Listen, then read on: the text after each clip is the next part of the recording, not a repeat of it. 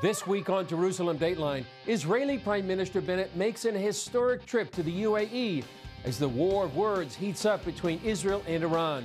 We're going to be discussing ways to further our cooperation in a number of fields, especially strengthening our economic and commercial ties.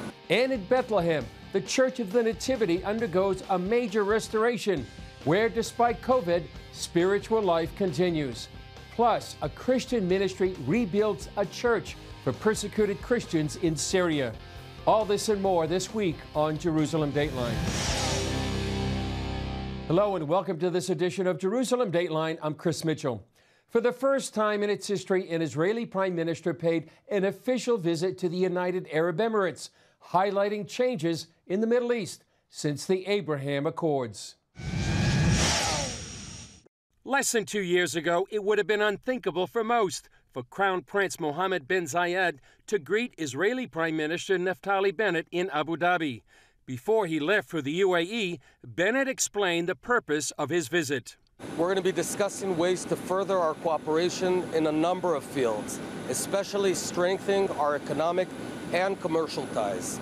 In just one year since normalizing our relationship, we've already seen the extraordinary potential of the Israel UAE partnership, and this is just the beginning.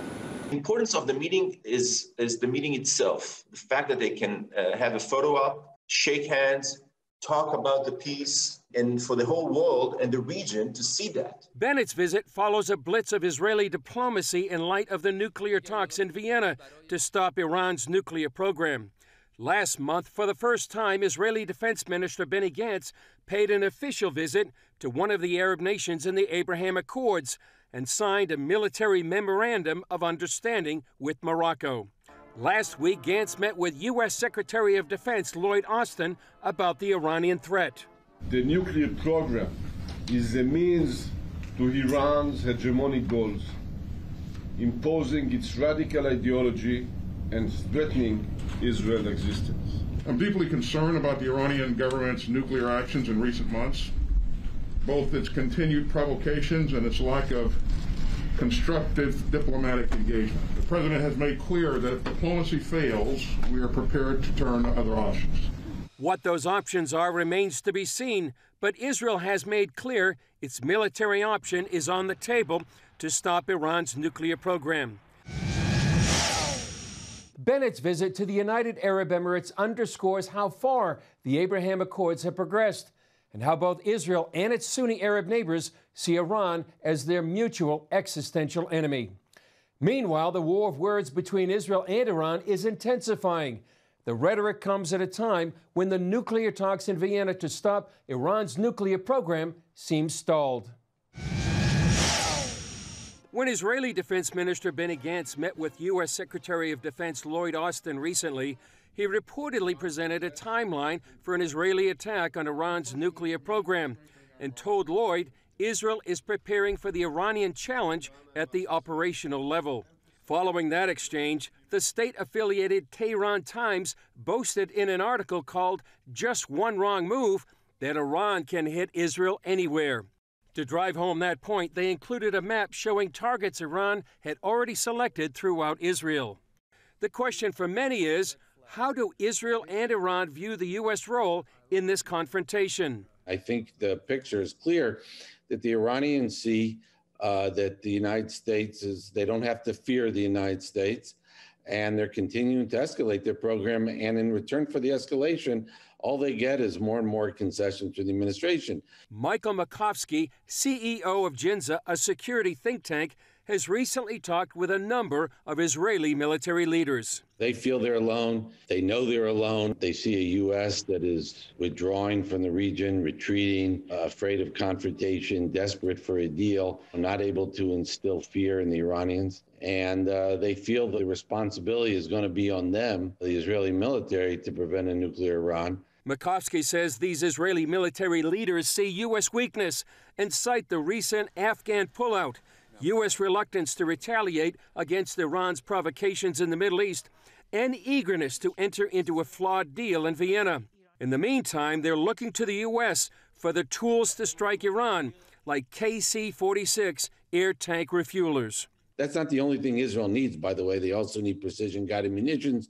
They need more F 35s, F 15Is, some helicopters, things like that. I would not only accelerate delivery to Israel this, I would make a show of it.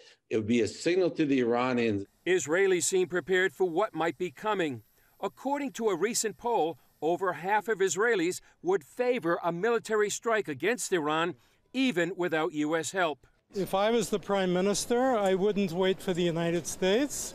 I would take some definitive action now. I don't know if I would bomb right away, but I think as a as an option B, I think that's probably what I would do. If somebody walks up to you and says, I'm going to kill you and I'm going to kill your whole family, would you wait for that to happen or would you take some definitive action to prevent it?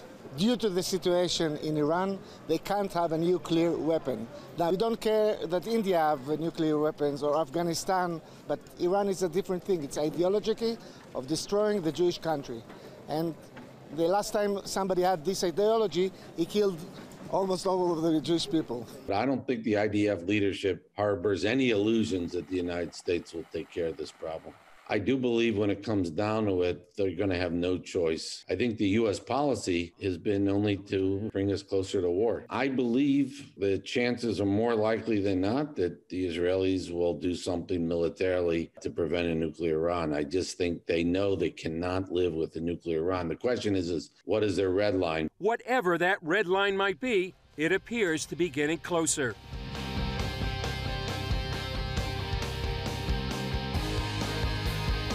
Coming up, one of the first churches in the world undergoes major renovations. Also, we have to be renovate ourselves. We have to be renewed spiritually.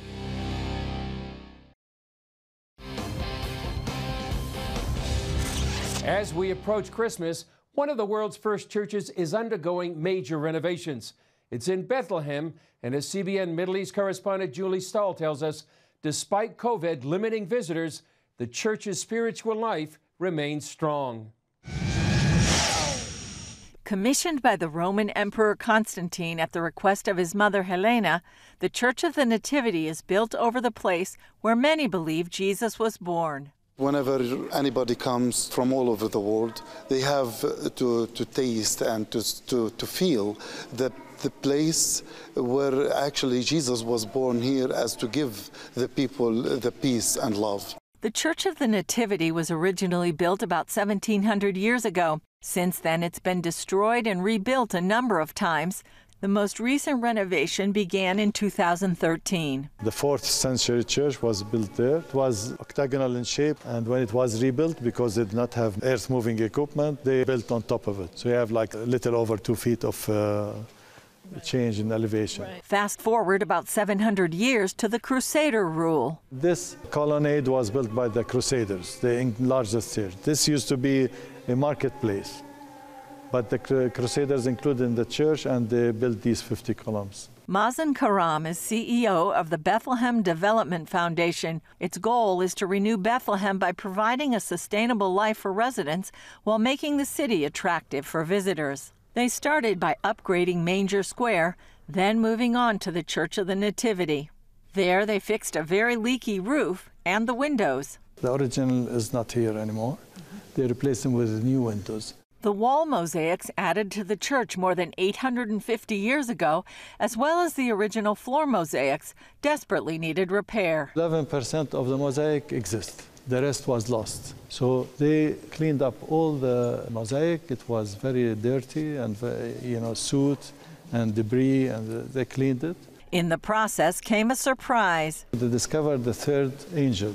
The third angel was completely covered with plastics. They also created Adopt a Column to refurbish the church's 50 columns at a cost of around $50,000 each.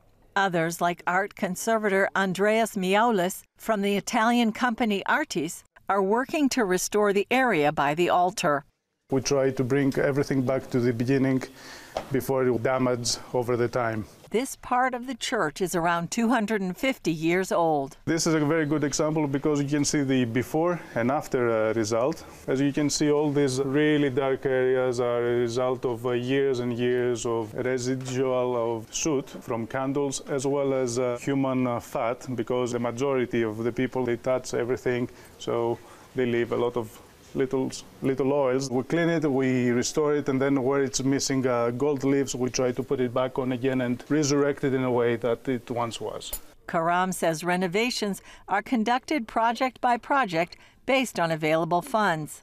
The Catholic, Greek Orthodox, and Armenian denominations share guardianship over the church. Since long time, we didn't have uh, any restorations, so that's the best thing that is doing now. They're great because church needs to renovate it, and not only physically, also we have to be renovate ourselves. We have to be renewed spiritually and be educated about Lord's commandments. Father Issa Thaljieh and Very Reverend Father Asbed Balian say two years of COVID keeping away international visitors has been rough, although they have hope for the future. Even there are no tourists, no people, still we have prayers, we have uh, services going on. Day by day, the church is open. The local people comes to visit, to pray. Actually, uh, COVID-19 teaches us how to be patient, to have more faith of God, to trust God, that He's standing by us day by day. I pray that may God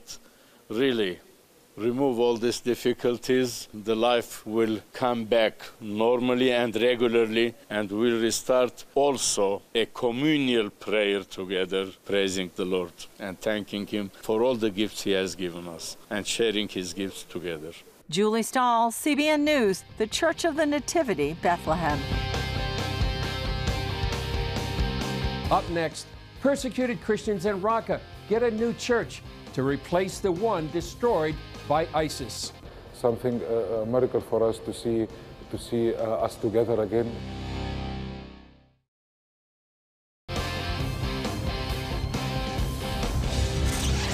When ISIS seized Raqqa in 2014, Christians and other minorities who had lived in the Syrian city for generations paid a heavy price. Many were killed and thousands fled. Now that ISIS has been defeated there, people are picking up the pieces and doing their best to resume normal life. Here's CBN Chuck Holton.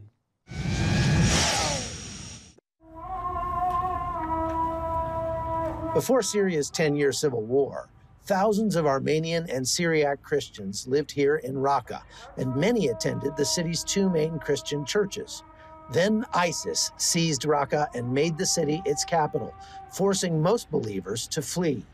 Those who stayed faced brutality in the form of beheadings, crucifixions, and sexual slavery.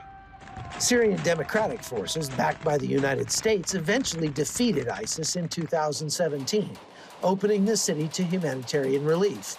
When the Free Burma Rangers first made it to Raqqa, the city lay in ruins. The former Armenian Church of the 40 Martyrs was just a shell of a building. It is for February 2018 in Raqqa, and this is the remains of one of the churches in Raqqa, and our prayer is that it will rise again. Thanks for praying. God answered those prayers, and now a new building stands in place. American pastor Tay Pei helped get it done. I am friends with David Eubanks, and he, he, was he told me that he was going to Iraq and Syria, and I asked him if he had any needs. And one was particularly rebuilding the church in Syria, and that captured my heart, and I wanted to be part of that. Tay's church raised $60,000 to help rebuild the church. This year, Tay got to come to Syria to see it be rededicated. Before ISIS took over Raqqa in 2014, there were about 150 families that used to attend this church. But now there are really only about 12 believers left in Raqqa. But the church has been rebuilt, and with the help of the Free Burma Rangers and many people who donated money, Today is a very special day as we go to rededicate this church to God and hope that He will send more believers to fill the pews. The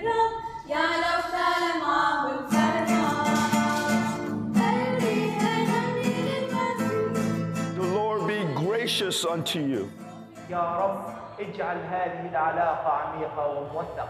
The Lord will turn his face towards you and give you overflowing peace, joy, and love.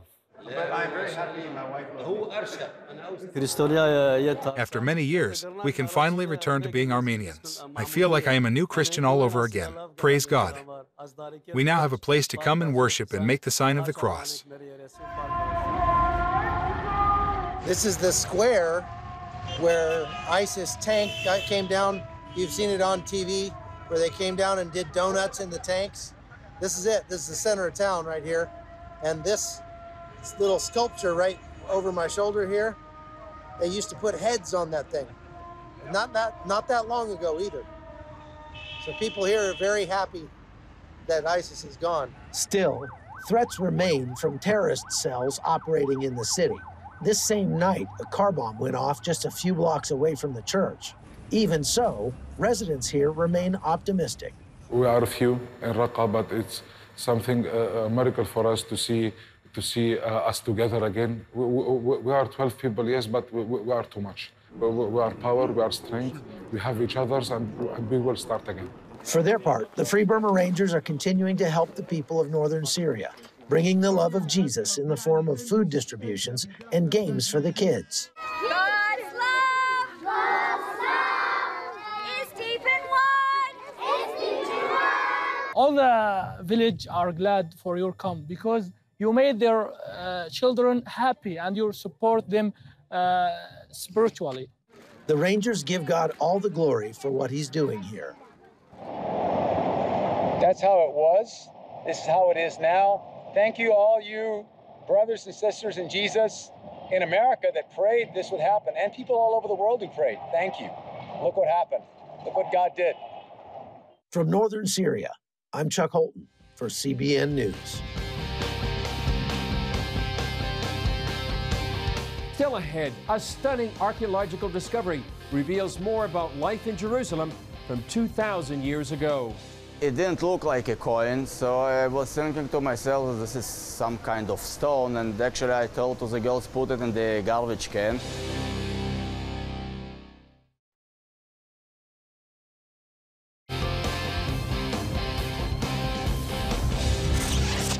11 year old girl has made one of this year's most significant archaeological finds in Israel. The discovery reveals more of what life was like in Jerusalem 2,000 years ago. In the Emek Zurim Park, visitors can sift through debris from the ongoing excavation in the city of David. That's where Liel Krutokop found a rare silver coin from the time of the Second Temple. It feels something not normal. And I go to their archaeologic was there and he cleaned it a little bit and then he told me and for my family that's a silver coin. At first, Liel's father thought they should throw it away. Actually, it didn't look like a coin, so I was thinking to myself this is some kind of stone, and actually I told to the girls put it in the garbage can. But they insisted that this is a coin, and they took the coin to the archaeologist that was on the site, and he confirmed that uh, this is indeed a coin. I was very excited, and it's like some happy feel because somebody touched it before 2000 years and right now I'm touched. This is a very rare find. Together with this silver coin, we know from the archaeological documentation only 30 others silver coins from the rebellion. The coin has two Hebrew inscriptions. We can see here the words in ancient Hebrew, Shekel Israel, and a second line with two Hebrew letters, Shin Bet, which means the second year of the rebellion against the Romans, 67-8 AD. On the other side of the coin, we have another inscription in ancient Hebrew, which says, LeYerushalayim HaKdosha, to Holy Jerusalem. Archaeologists believe the high priest in the temple wanted the coin to help pay for the revolt against the Romans. Coins were minted uh, in order to emphasize independence of certain communities. So the Jews that uh, rebelled against the Romans wanted to emphasize that they are independent. The Hebrew wording on the coin harkens back to the first temple for a reason. To the time of King David and his son King Solomon. The Jews wanted to emphasize their connection to the great kingdom of Israel led by King David. They missed it. They wanted their kingdom to be as large as King David's kingdom. The coin came from a layer of debris dating to the destruction of Jerusalem in 70 AD. I'm standing on the remains of uh, the ancient pilgrimage road that led Jews from all over the world to the temple itself. When the Romans destroyed Jerusalem and the street itself, all the structures that stood on both sides of this street collapsed into one pile. To Levy, the discovery is like traveling back in time. To hold this silver coin is like going back 2,000 years ago and actually touching the common, the daily life of the people that lived in Jerusalem. Liel's mother sees it as more proof of Jewish life in Jerusalem. It tells a lot about the history, about the people that lived here, about everything, uh, about the history of this place, of Jerusalem, and the meaning of this place to us, to, to the Israelis, to the Jewish people. So, yes, it means a lot. Well, that's another discovery showing the Jewish connection to the land of Israel going back thousands of years. That's all for this edition of Jerusalem Dateline. Thanks for joining us. Remember, you can follow us on Facebook, Twitter, Instagram, and YouTube. And you can also access CBN content through our CBN News and other CBN apps. And don't forget to sign up for our email blasts so you can continue to receive all of our exciting CBN content. I'm Chris Mitchell. We'll see you next time on Jerusalem Dateline.